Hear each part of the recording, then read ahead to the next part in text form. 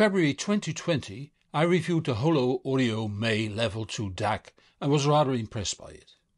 When I reviewed the Magna Mano Ultra MK3 Farad streamer last week I was lent the May DAC again. I found it a golden chance to listen to it again but this time on my heavily upgraded reference setup 1A.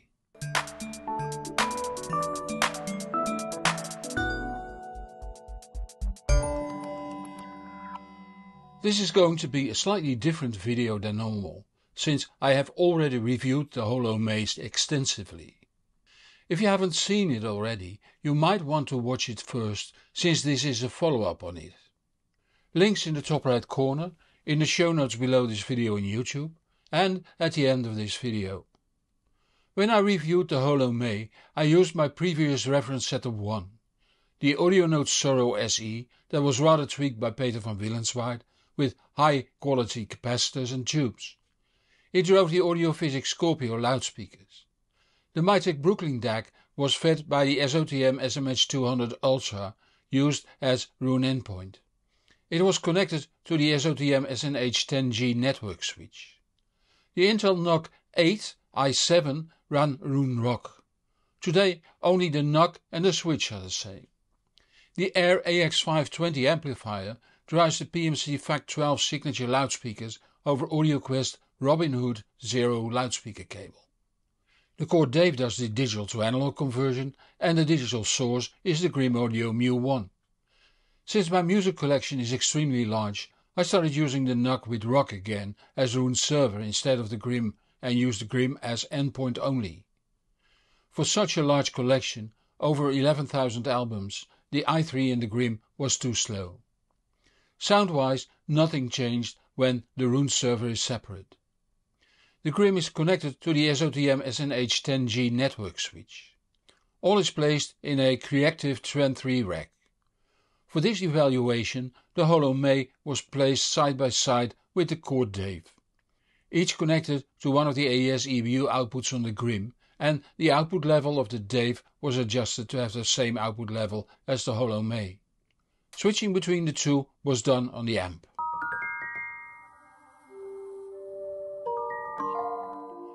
The distributor Magna Audio has set the PLL to off. PLL stands for phase lock loop.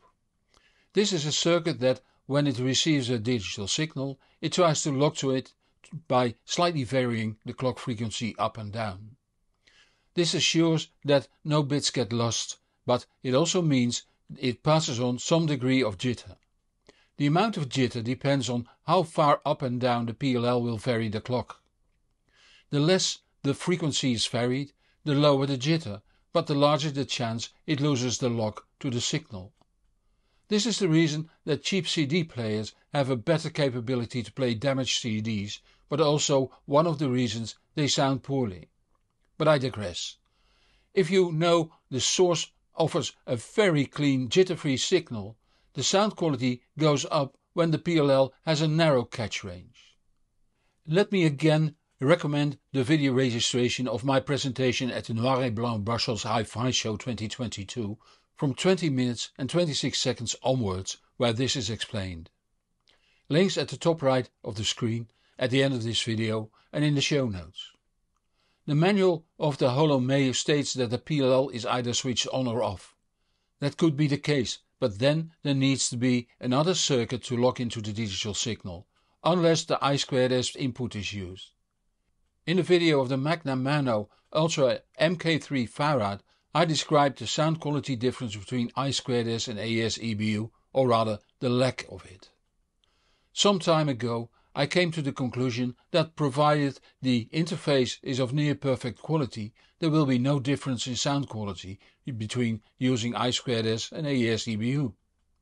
Unfortunately there's a lot of equipment that has poor digital outputs, whether it's AES EBU, I2S, SPDIF or any other interface.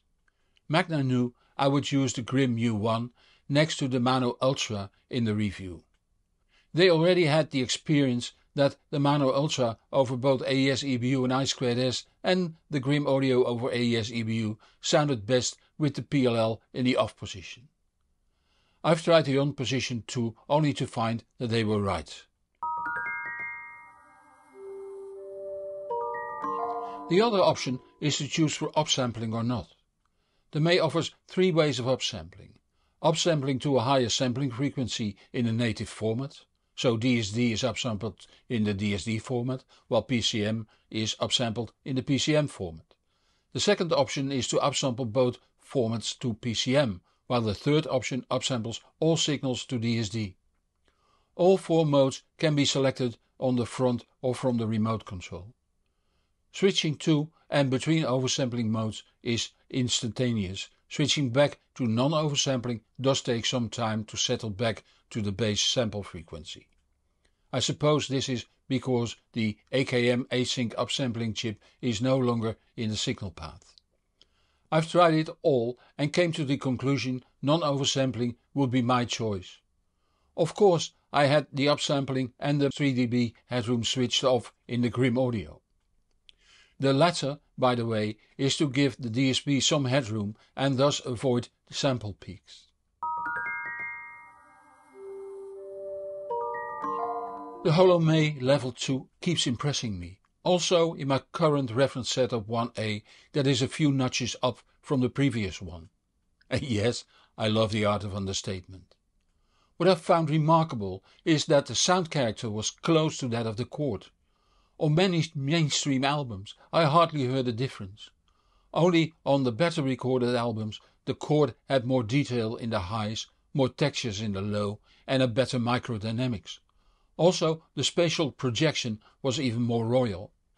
The music came more alive on the Chord in a direct A to B comparison. But the differences were not that big, while the Chord is twice the price. There might be a simple explanation. If a DAC doesn't oversample, there's no pre-echo since there's no digital filtering. If then the analog reconstruction filter is done with the utmost care, the post-echoes will not bother the ear. The Chord does upsample, but with an extremely good algorithm in an extremely expensive FPGA chip. Also here the transients are very clean because of very little time smearing. I rate the Holo May level 2 in the middle of my reference set of 1A, a place where normally more expensive DACs can be found. Let me get back on the I2S versus AES EBU question. The Holo May I got was only played one or two days when I received it. As always it was immediately connected to the mains and to a Roon endpoint. That was fed music from Roon 24-7 for 10 days before I did the listening for this video. But I couldn't resist comparing I2S and AES EBU coming from the Magna Mano Ultra MK3 Farad I reviewed last week and that arrived the same day after delivery so both had not played enough to be burned in at all. At that time I2S was clearly superior to AES EBU. It had more detail, a better stereo image, better lows and far better sibilance control. I think this has to be explained by the separation of the clock signal from the audio data. In AES3 signals, AES EBU, SPDIF and Toslink, the clock signal is encoded in the data stream and that makes it harder for the power line might not be stable since capacitors have to settle and so on. Again see my presentation at the Noir et Blanc Brussels Hi-Fi Show 2022 from 20 minutes and 26 seconds for an explanation. And as said before, after a proper burn-in period, the differences between I2S and AES EBU was gone. This means that the implementation of both interfaces in both devices and the cable used were perfect. The Holo May Level 2 had made a very good impression the first time I reviewed it. Now on my new reference set of 1A I'm heavily impressed how much further the sound quality goes. Current EU price is uh, 5,390 euros including 21% VAT.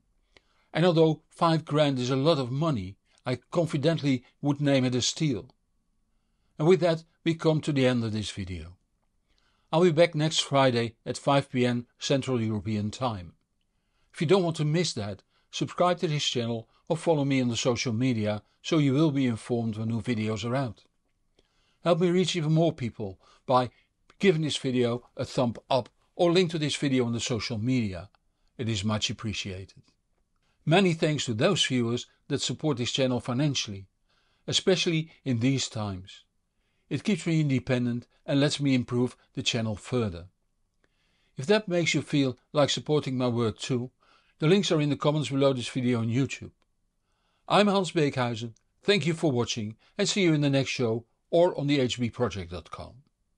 And whatever you do, enjoy the music.